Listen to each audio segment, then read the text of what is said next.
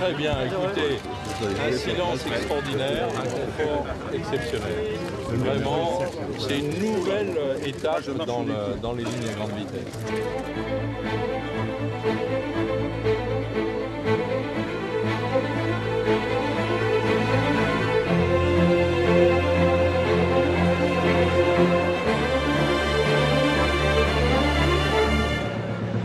Bonsoir et bienvenue à toutes et à tous dans ce cadre prestigieux de l'abbaye des Prémontrés, une abbaye du XVIIIe siècle dont la première pierre a été posée il y a euh, 300 ans.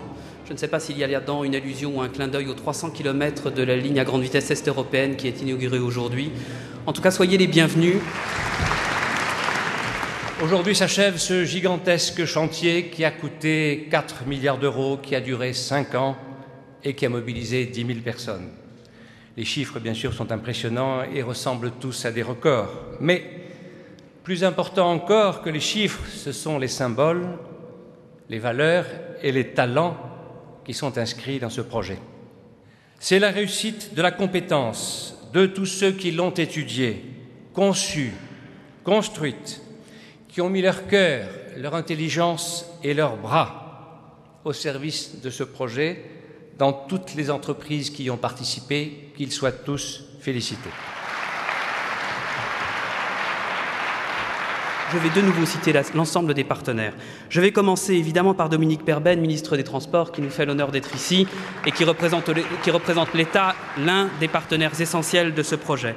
Je vais citer également l'infatigable président Christian Poncelet, dont chacun sait qu'il est à la fois président du Sénat et président du Conseil général des Vosges. Je vais saluer et citer la présence de Jacques Barrot, vice-président de la Commission européenne, qui a déjà été cité, remercié, commissaire européen chargé des transports et qui représente évidemment l'Europe. Je souhaite également que vous applaudissiez, que vous accueilliez extrêmement chaleureusement Monsieur Lucien Lux, qui nous fait l'honneur de sa présence ce soir, qui représente le Grand-Duché du Luxembourg et qui en est ministre de l'Environnement et des Transports. Je vous demande également de saluer Adrien Zeller-Lafay, Gérard Longuet, qui représente ici l'Agence de financement des infrastructures de transport de France et dont l'action dans cette région est bien connue. Je les ai déjà cités tout à l'heure, mais je reviens encore une fois au moins pour évoquer les équipes qui travaillent autour d'eux, les populations qu'ils représentent, les présidents des quatre grandes régions concernées. Jean-Paul Huchon, on suit le trajet de la ligne. hein. Jean-Paul Huchon, Jean-Paul Bachy, Jean-Pierre Masseret et Adrien Zeller, ils se sont tous exprimés, je vous demande de les applaudir très fort. Avant d'évoquer les autres collectivités territoriales, je salue également la présence de Madame Anne-Marie Hydrac, la présidente de la SNCF, parce que comme chacun sait, c'est bien de construire des lignes, mais il faut également faire rouler des trains dessus. Alors les autres collectivités qui ont été impliquées dans ce projet, c'est évidemment les départements qui y ont été associés. Je salue la présence ici de Michel Dinet, le président du Conseil général de la Meurthe-et-Moselle. Je vous demande d'applaudir Benoît Huré, le président du Conseil général des Ardennes. Je vous demande également de saluer la présence de Philippe Leroy, le sénateur et président du Conseil général de la Moselle, de Christian Namy, le président du Conseil général de la Meuse, de René-Paul Savary, le président du Conseil général de la Marne, de Charles Butner, le président du Conseil général du Haut-Rhin, et de Philippe Richert, le président du Conseil général du Bas-Rhin. Évidemment, au-delà des régions, au-delà des départements, il y a des grandes métropoles de l'Est de la France qui se sont associées au projet. Je veux saluer la présence de Robert Grossman, le président de la communauté urbaine de Strasbourg. Je vous demande également d'applaudir Jean-Louis Schnetter, le maire de Reims et président de Reims Métropole. Euh, je vous demande également de saluer la présence de Gilbert Meyer, le député maire de Colmar. Et celle de Jean-Marie Bockel, le sénateur maire de Mulhouse. Enfin, il ne faut pas oublier les représentants des collectivités qui ont participé à cette aventure au sein du comité de suivi du projet de la LGV Est européenne, qui était présidé par le préfet de région, M. Pierre-René Lemas. Euh, il s'agit évidemment de Fabienne Keller, que vous avez entendu, sénateur maire de Strasbourg, de M. Jean-Marie Roche, le maire de Metz, et de M. André Rossino, le maire de Nancy.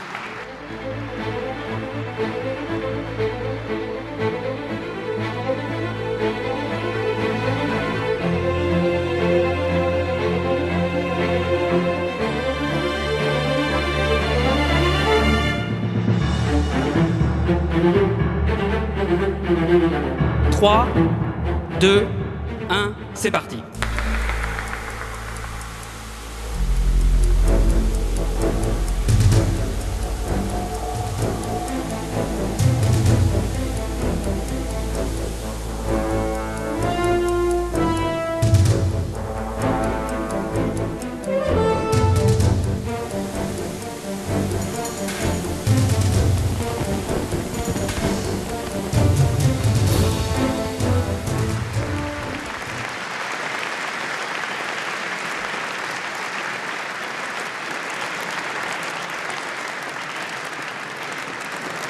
Voudrais dire à, mon tour, bien sûr, combien la fin de ce chantier est un événement immense, qui est à la fois le reflet et l'aboutissement d'une volonté, d'une volonté partagée par l'État, par les collectivités, par les villes, d'abord pour inscrire la France dans le progrès.